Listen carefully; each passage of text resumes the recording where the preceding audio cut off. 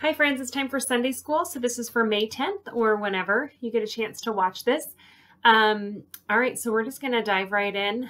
Um, so this week we are talking about a few verses from the book of Psalm. So this is in the Old Testament. We've been talking about the New Testament um, because the New Testament covers Jesus' birth and his life and his death and resurrection, um, and then the time after Jesus. Um, so the Old Testament is the time before Jesus was born. And so we're going to kind of shift gears from what we've been doing. So the book of Psalm, if you want to find the book of Psalm, I've got my Connect Bible here. And I'm going to go about halfway. And usually that ends you up, if not in the book of Psalm, pretty close to it.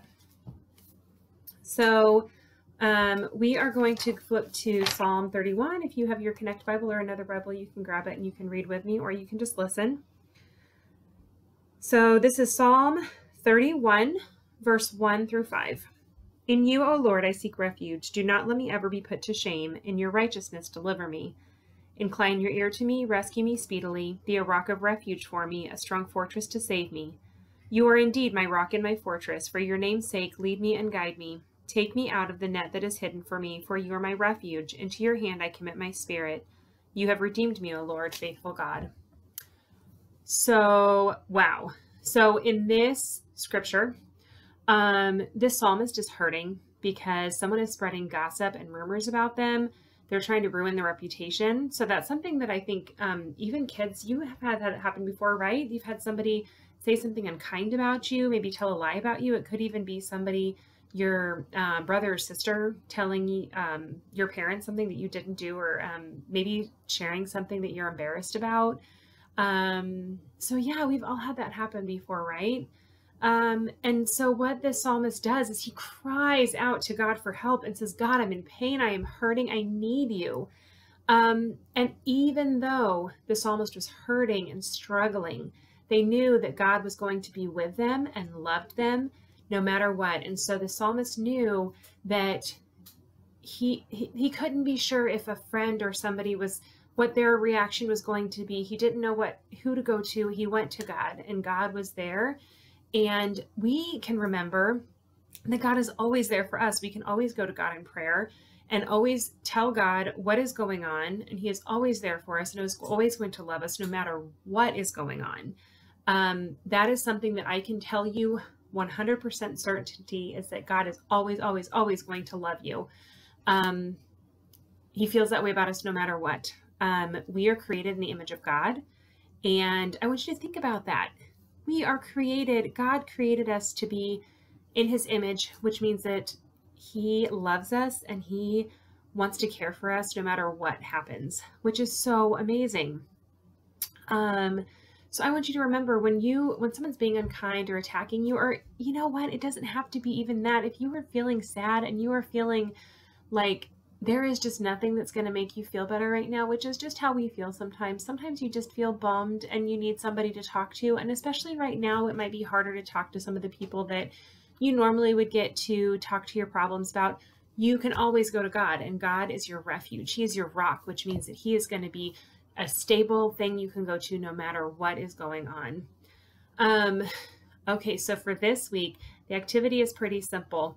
Um, I have this coloring sheet and I'm sending it to your parents so they can print it out. If printing at home is a problem, please, please, please let me know and I would be happy to mail you a copy because it's kind of a fun um, coloring sheet that would be fun even for you older kids. Um, it's kind of created so that it's good for lots of ages you can see.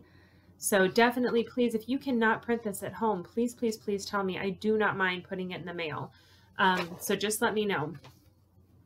Um, okay, so this week, what I want you to do um, is start thinking about what your prayer looks like. So I want you to think about times that you could pray that maybe you don't always think to. Um, I want you to really pay attention to if I'm feeling sad, can you take a moment to pray? And even when you're feeling really happy, when something is really making you excited, you can talk to God about that too. You can always pray. And I want you to remember, we've talked about this before, prayer does not always look like hands folded, heads bowed. That is not what prayer always looks like. Prayer can look like your hands raised. It can look like your hands in your lap. It can look like you looking out into nature. Um, maybe you close your eyes. Sometimes I like to close my eyes because otherwise I get distracted by what's going on. But if I'm somewhere really beautiful, I might just look around and just take it in and just enjoy what I'm around. Um, whatever feels right to you, this is your conversation with God. And so I want you to find a way to pray and to tell God what's going on that makes you feel comfortable. We are going to be having a special project coming up soon, and it's still in the works. So I'm not telling you a lot yet um, with the Lord's Prayer, and I'm very excited about it. So I want you to start thinking about what prayer looks like for you and start practicing that, okay? So we are going to close this in prayer.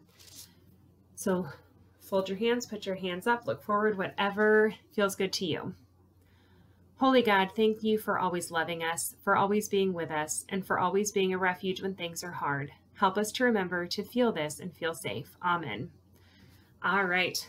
It has been wonderful to do Sunday school with you again this week. Please, please, please always know that you can email, call me, video chat me, text me, whatever you're needing. If you are needing to talk or if you just want to check in, I'm always here. Bye.